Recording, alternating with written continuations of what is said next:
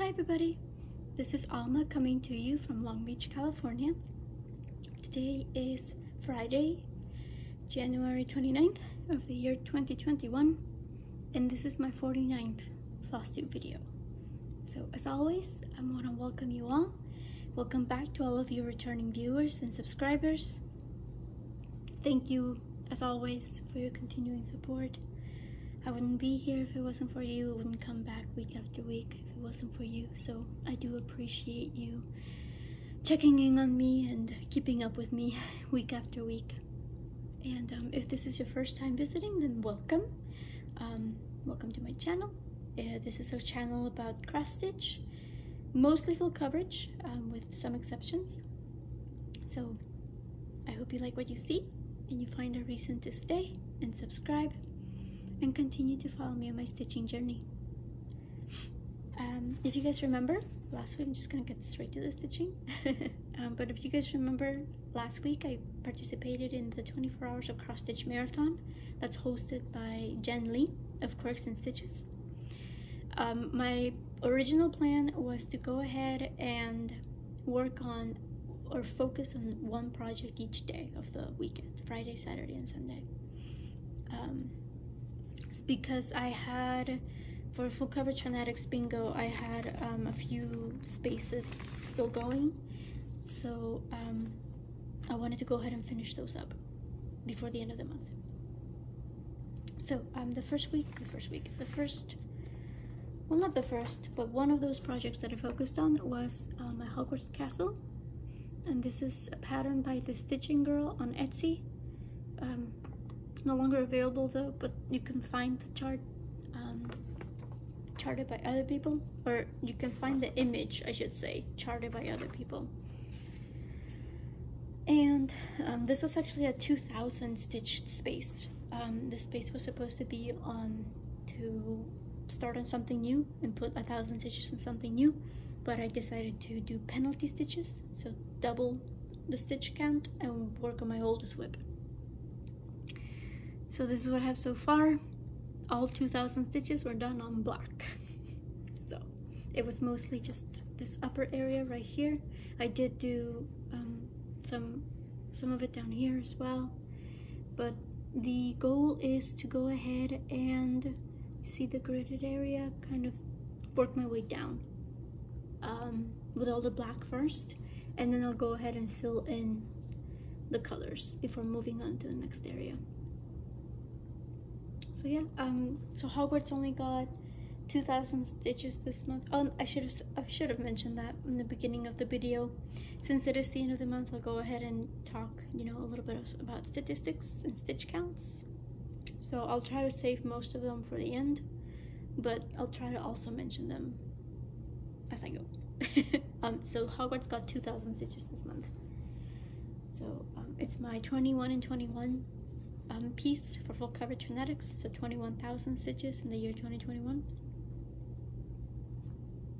Um, I should like to, I, I hope I can get the, the entire project finished um, by the end of the year. We'll um, talk about that again at the end. Um, the One of the other pieces that I focused on throughout the weekend was my Disney villain piece this was started in February of 2020 and I had originally wanted to finish it by the end of 2020 it didn't happen.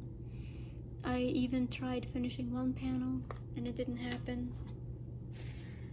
But I was able to finish the the 1000 stitch space um, for bingo. So this is where we're at right now.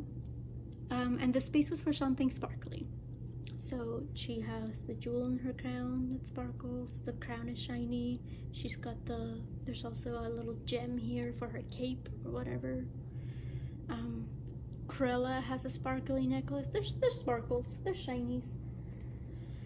Um and i'm at 10,250 stitches out of 16,000 stitches for this panel alone. So because when you buy the pattern it's split up into four pieces. So but i will be stitching them all together. It's just coming along really well. I think um, it's exciting. Like I'm, I'm excited to be done with with that um, upper portion and go go to the clothing. As you can see, I already started some of it down here with the blue. It's just a lot of confetti, um, so I have to be really in the mood. Like besides, you know, the blocks of color with the black and the blue, there's a lot of confetti in there. So I have to be in the mood for it. Um, another piece that I focused on for the marathon is my biggest WIP. This is Aimee Stewart's um, Reader's Paradise. And I got the supersized max color version. Um, and I'm starting on the left corner, the upper, upper, lower left-hand corner. So this is, this is the area right here. Look at the kitty. I'm so excited to get stitch him. And he's, he'll be coming soon, relatively soon. But right now, I'm still here. This is pretty much, oops. This is pretty much the area that I'm stitching right there. The stacks of books that are um, on the stairs. Figure out where I put them. Figure out my life. Um, yeah, this is how it goes. So this is where I'm at. Um, so again, that's the rug or whatever that's on the stairs. And then this is the beginning of the stacks of books right here. And I'm trying to work with the lighting. So yeah, so this is where I'm at. This got 2,000 stitches. Oh, and uh, the Evil Queen got 2,000 stitches as well because I used her for two spaces. This got 2,000 stitches as well. I used this for um, something with words of books and I used it for a cozy spot because that library looks very cozy, or that bookstore, I should say, it's a bookshop. That bookstore looks, looks very cozy. And then um, throughout the weekend, um, whenever I got I got bored with the black, or I couldn't deal with the confetti on Evil Queen, I worked on my haku, and this is by Ekaterina Saitova. I started this on April 1st, back when the quarantine had just started and everybody was doing quarantine sales. And I don't know why I bothered showing you the finished product because I could have just shown you this. I finished. He's looking amazing. And I think I'm gonna frame him. Um, I still have to iron it, wash and iron, but I'm definitely gonna frame him. Let's see if I can get a close-up of the details here without freaking out the camera. There we go. So it was it took a lot longer than I thought. Obviously, I feel like that. I feel like I say that every time with back stitching. I think it's only gonna take like a day, and it ended up taking pretty much the entire weekend, really. Um. So yeah, that's that's Haku. Beautiful Haku. I'm very happy with how it turned out. Um, and yeah, that's this is my first finish of 2021. Woohoo! Okay, maybe if I freeze like this, uh, YouTube's gonna catch the thumbnail. um, so, so that was that was the weekend. Um, but then I also kept going with some of the missing tasks that I was trying to finish up. One of well, first I show you the product image, right? So the this is going to be one of my major focuses this year. This is the Eternal Promise. Um, artwork by Matt Stewart, charted by HAED. It'll be a gift, so that's why I need to get cracking on it and I only put in like 300 stitches this week. I didn't put too much into it, um, but it was enough to finish up one of the tasks for semi-sane stitchers. It was um, our focus pieces. We have to stitch a thousand in a, in a thousand stitch increments, and unfortunately, I kind of I I got screwed up um, and ended up starting like 300 stitches later than when I was doing the full coverage pieces so that's why I needed to do a little bit more. But this is where I'm at. I used this for the stitch with me this week as well. Um, so yeah. So again so this got a little bit over I, I would say like 23 2300 stitches. Sounds about right. 2300 because I used it for a couple of spaces. I used it for two of something and then the stitcher's choice. I'm pretty sure so this is going to be a major focus next month because Full Coverage Fanatics is doing a romance theme for their monthly or book challenge. And so romance genre um, and it's Outlander which is 850 spa spaces. 850 stitches times 10 8500 stitches throughout the month of February.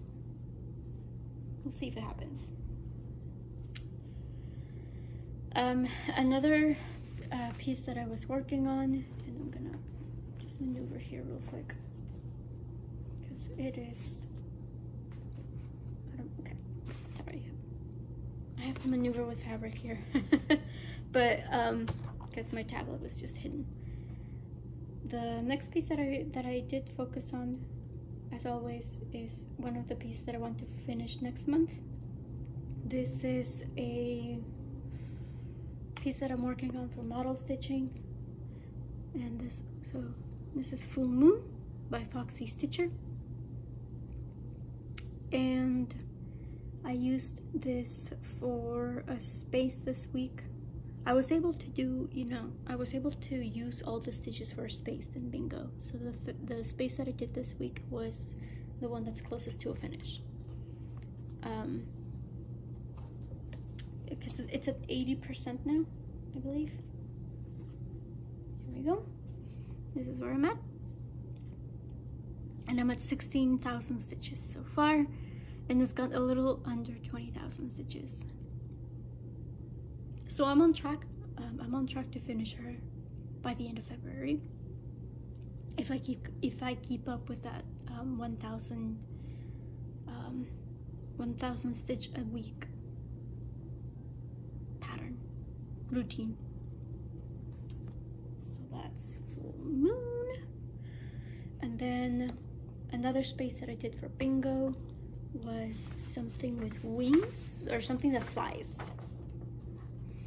So I picked up Mini Midnight Stroll, which I hadn't stitched on her all month and you know, she couldn't go away for too long. I love her and she's supposed to be a gift. So this is a chart by HAED, artwork by Julie Fain.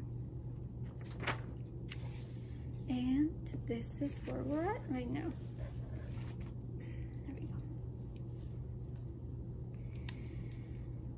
so here she is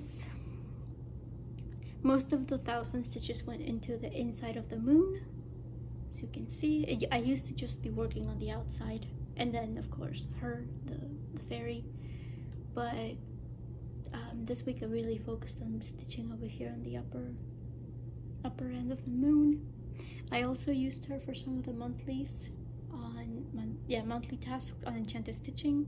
We were supposed to do 200 stitches on a moon moon, and then 200 stitches using the color purple.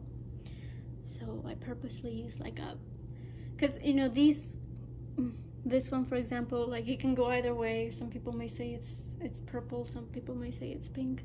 So I use like 209 so that's like definitely a purple. Um, and I used this for the magical stitches homework this week as well. We were supposed to research a mythological creature and then put at least 100 stitches on it. So you could do as many creatures as you wanted as long as you did a minimum of a minimum of 100 stitches on each. So technically you could do a max of 10 but I just went for the one I'm like okay mythological creature fairy thousand stitches done and then the space that I'm doing now is um, for the piece with the least amount of stitches so since Haku was finished, the next one in terms of size, smaller, smallest piece is Bilbo. This is by Mandarinks Designs. I started this on January 1st of 2020. And this, I do want to finish this relatively soon because I originally wanted to finish it by the end of the year. Um, so I'm not finished yet, but this is what I have so far. I still have like 200 more stitches to go on the space, but I finished the door last night. So I just have to do some of the wall or yeah, the door frame, I guess, the rest of the door frame over here. There's a stack of books over here and a teapot and a little saucer with the cookies.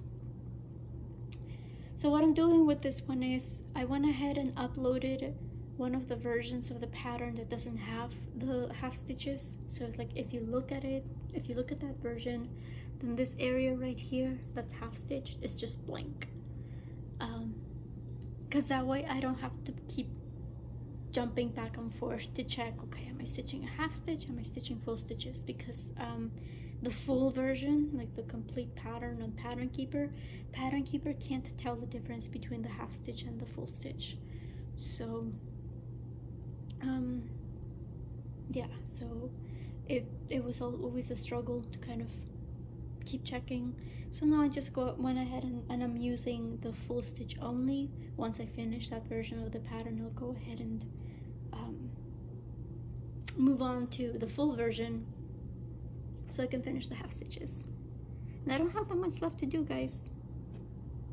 He's gonna be finished pretty soon, which I'm very excited about. okay.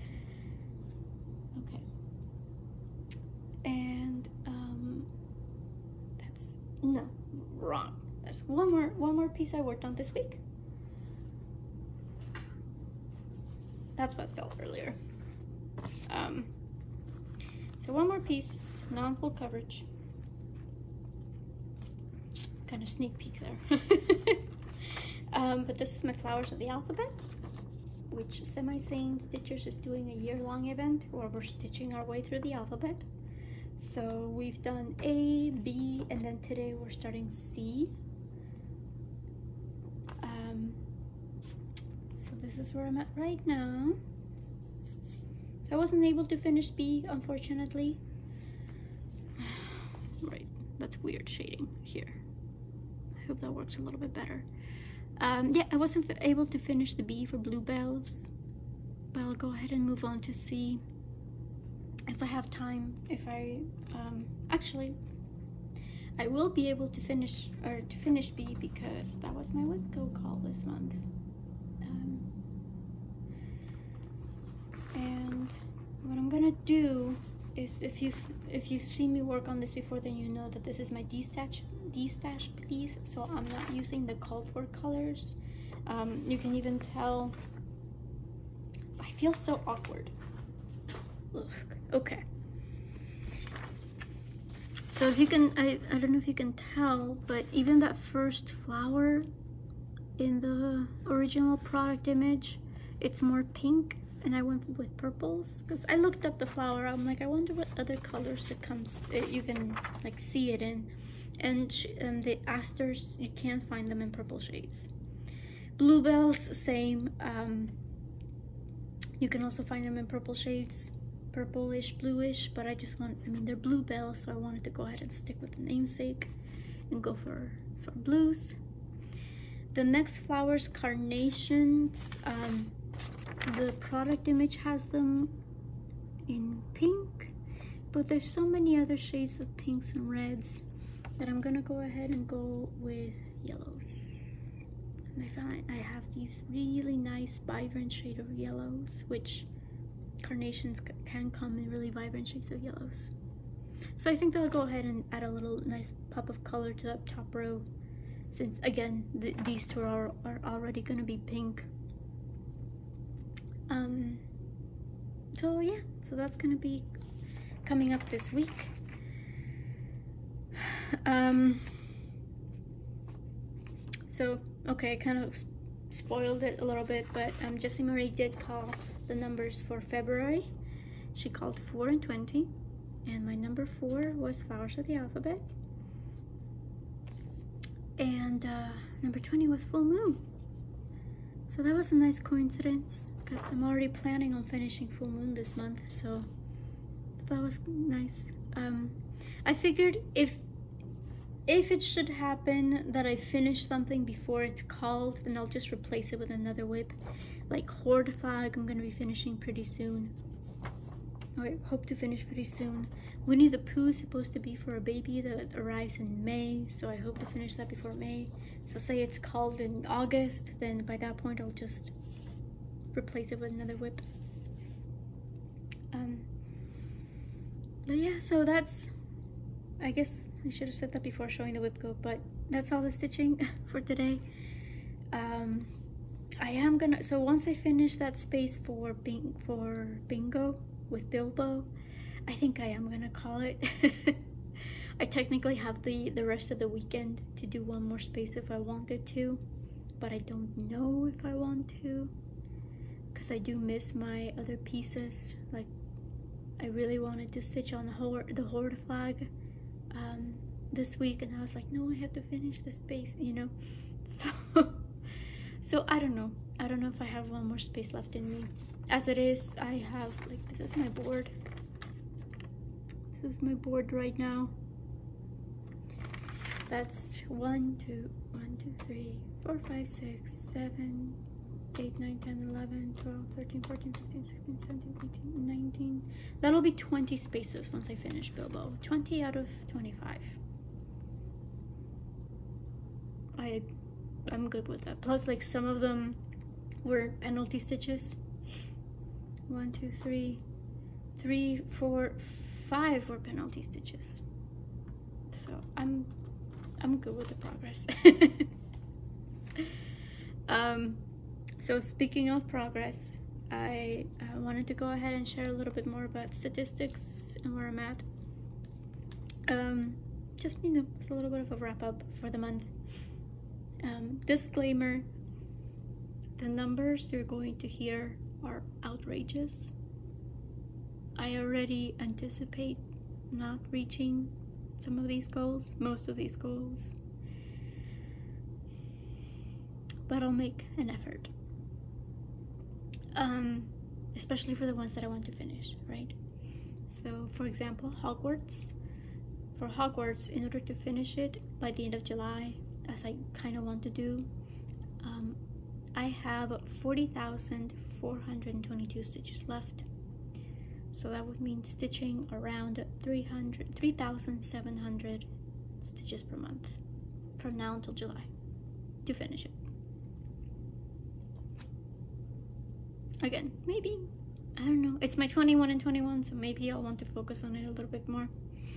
Um, bilbo's home if i want to finish it um, before april or at the end of april. Yeah i should say at the end of april because before april would be the end of uh, april end of april i have um, 6,294 stitches to go. Now that does not include the 1000 stitches that I'm going to be doing for the space. And it, it's counting half stitches as full stitches. So it's gonna go fast. But as it is I would have to do 1800 stitches per month in order to finish um, at the end of April. And then for the horde flag I have 3000 stitches to go on that one. That's it just 3000 so that's gonna be a finish and that's i have it right here in case you in case you don't remember. This is what it looks like. It's by up to cross stitch. And i started it for my boyfriend's birthday back in june. Um so that's gonna be a finish pretty soon. Next up is mini one which is one of it's my first HAED that i ever started so i would like it to be the first HAED that i finish. It's also a mini so it could it could happen. Um, for that one in order to i don't want to finish it per se but in order to achieve the goal that i gave myself um, i would have to stitch 45,907 937 stitches. So if i want to finish those by the end of the year i would have to i have to do 4200 stitches per month. 4200 stitches per month um, and then the remainder of these are going to be ones and actually I think I'm pretty I'm pretty sure I'm using mini one for one of them but the reason why these stitches are going to be so outrageous is because I'm using it for the outrageous Headmistress Challenge in Magical Stitches. So, here we go. Change of seasons, um, I have a goal of 48,000 stitches to hit 48,000 stitches. I still have 37,482 stitches to go. So in order to reach that by the end of the year, I would do have to do 3,450 stitches per month. Next up is Snow Girl. Um, I gave myself a goal of hitting 50,000 stitches this year. In order to do that, I still have to do 28,427 stitches, which amounts to around 2,600 stitches per month. Moon Charmer, which is another one that I would like to finish relatively soon. Um, I think that was my first full-size HAED that I started, and it's technically selected size, so it's not even the original size. Anyway, for that one, I gave myself a goal of 75,000 stitches to hit like hit the 75k mark um, in order to reach that I will have to I still have to do 34,989 stitches which amounts to around 3200 per month. Mini midnight stroll major focus this year or any year really. I gave myself the goal of reaching 55k this year. In order to do that I still have to do 38,000 stitches which amounts to around 3,500 stitches per month.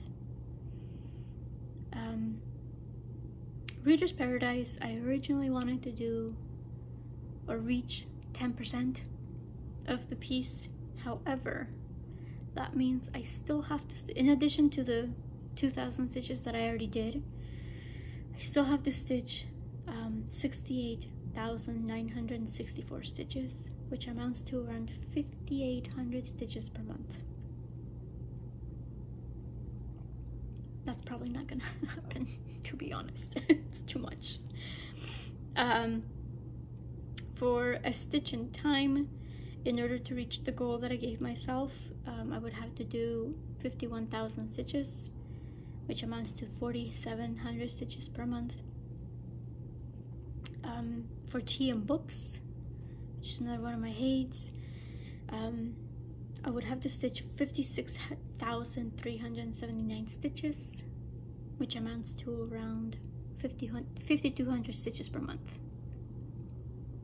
And then the last one I'll give you guys, because I just realized I'm like rambling, um, The Eternal Promise, which, as I mentioned, is going to be huge. I feel like I'm saying that for a lot of pieces, but this one is like, it's really going to be a focus um, in order to, and if I, so whatever goal I give myself, unless it's like a specific stitch or to hit a milestone, it's to finish the outrageous challenge.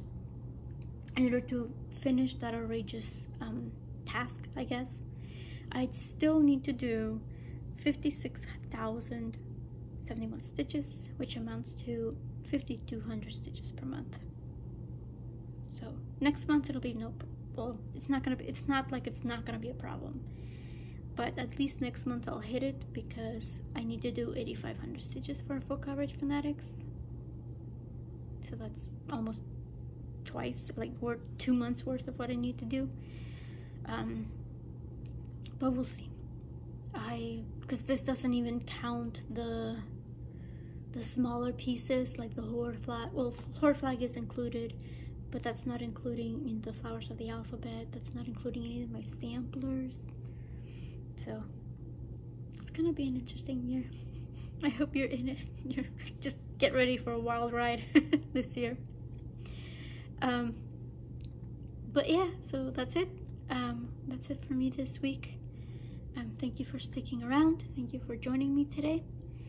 Um hopefully next week i'll have some some more progress to show you before the full semester kicks in. Um, as always, I hope you guys have a relaxing weekend, a productive week, and you always find the time to do the thing that makes you happy. Until next time, guys.